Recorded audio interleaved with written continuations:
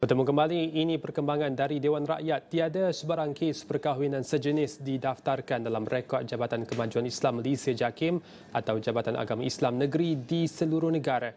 Menteri di Jabatan Perdana Menteri Hal Ehwal Agama, Datuk Muhammad Naim Mokhtar menegaskan dari sudut perundangan Malaysia, jelas tidak mengiktiraf perkahwinan sejenis dan ia tidak boleh didaftarkan. Jelas beliau mengikut enactment Undang-Undang Keluarga Islam hanya perkahwinan antara lelaki dan wanita sahaja dibenarkan untuk didaftarkan.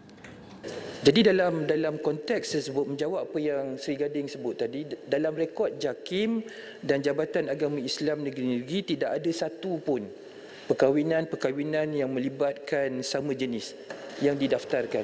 Yang itu memang memang jelas.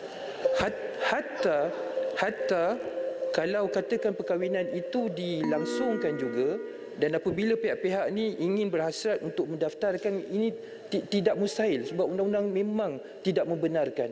Berbeza dengan kalau katakan perkahwinan itu dilangsungkan melibatkan pihak yang uh, lelaki dan juga perempuan berkahwin di Thailand contohnya kemudian datang uh, kembali ke negara untuk mendaftarkan pernikahan tersebut. Selama mana perkahwinan tersebut sah mengikut hukum syarak iaitu antara lelaki dan juga perempuan maka perkahwinan itu boleh didaftarkan.